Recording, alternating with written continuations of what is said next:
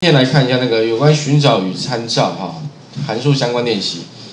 那寻找最常用到的像是那个 lookup 呃 VLOOKUP 函数哈，那里面当然也有分成像 lookup、HLOOKUP 好，还有 VLOOKUP。那其实这些函数主要的用途就是让你找资料啊。那怎么样去找到你要的资料？除了这几个函数之外哈，其实还有像什么 index，index 指的是你要找到的是哪一栏哪一列的资料。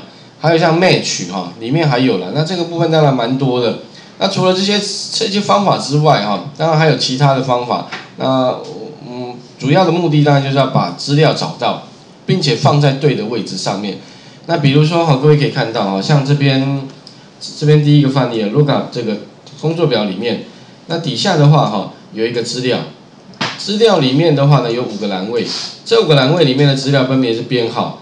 它里面有姓名、总销量、名次跟那个业务水准，啊，那如果说你今天希望怎么样，可以在这边填写一个编号，自动帮你带出什么它的其他栏位的资料，这几个一个萝卜一个坑的话，好，帮你把它带到姓名带到这边来，好，总销量，也就是说哈，哎，把它一等于是说你填入一个编号。那这个编号呢？当然最好，哎，以后可以做成什么下拉式清单？因为可能你编号你不知道多少编编号嘛，那你可以除了可以输入之外，哈，也可以用你用下拉的方式。那所以这边可以用个下拉清单。那也许我们现在需求是什么？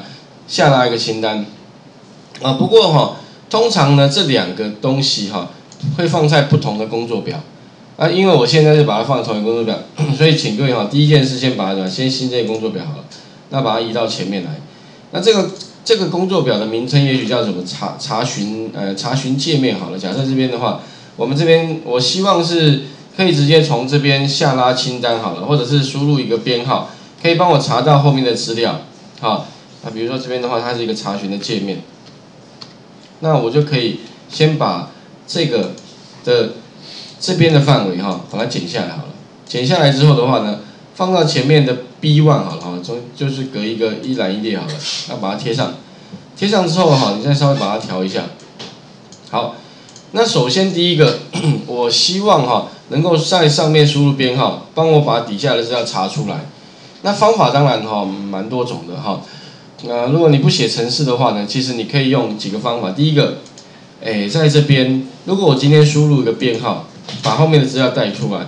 那我们可以用第一个函数叫 lookup 函数，插入函数里面哈，在姓名的右边这边插入一个函数。那各位可以找到有一个 群组的那个类别的函数叫检视与参照。检视与参照里面呢，哈，各位往下找有一个 lookup，好，那当然你可以看到 HLOOKUP 跟什么 index 啦、match 啦、什么 offset 等等啊，这些其实都是做查询用途。好，那我们找其中一个 lookup 函数。这个时候的话呢，你这个地方哈，它有个组合啦，哪一个找哪一个，按确定好了哈，就第一个好。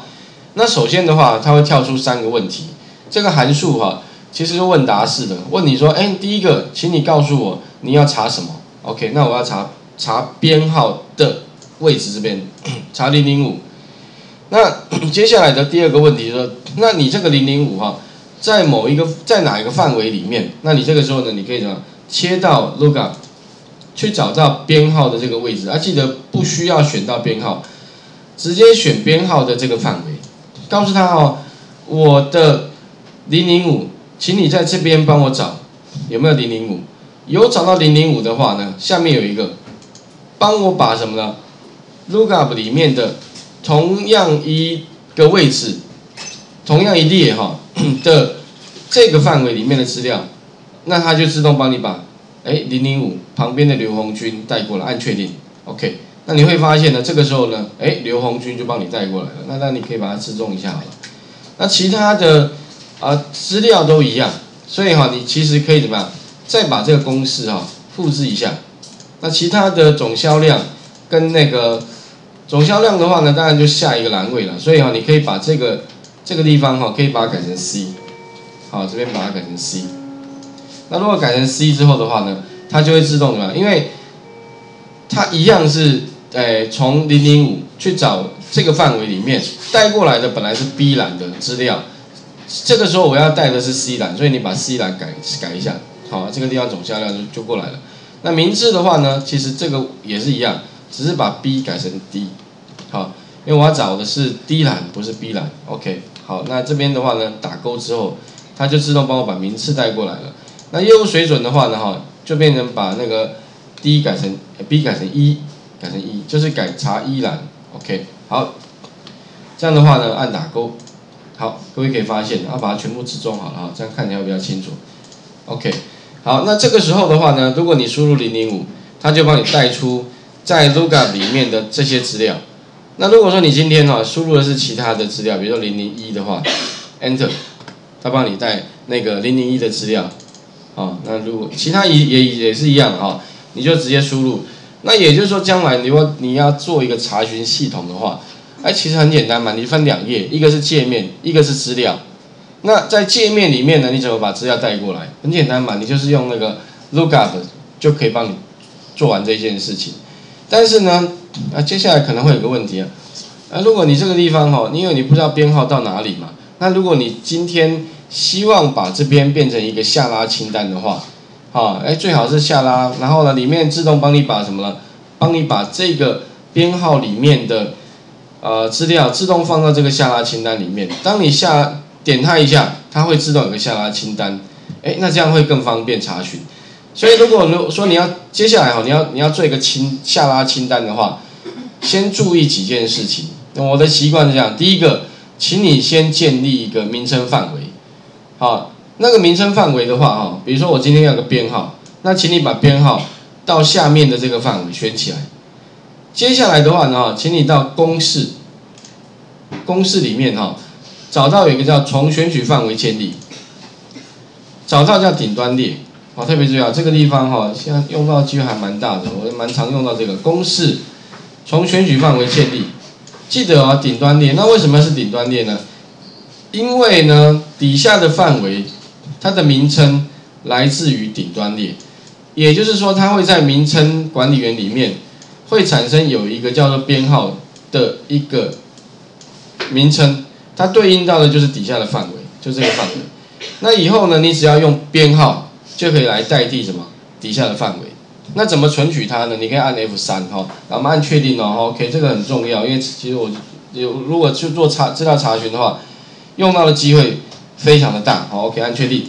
好，这个时候你 check 一下名称管理员里面有没有多一个叫编号的，有没有？正确的范围，哎，如果有的话，那恭喜你，表示应该没错了。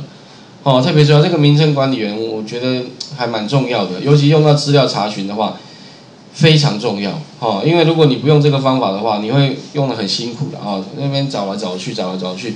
那用这个方法的好处就是用名称代替一个范围，你只要知道那个名称，就就可以做一些资料的应用。哈，OK，好，那这样子的话呢，我们做完啊，再 check 一下，好。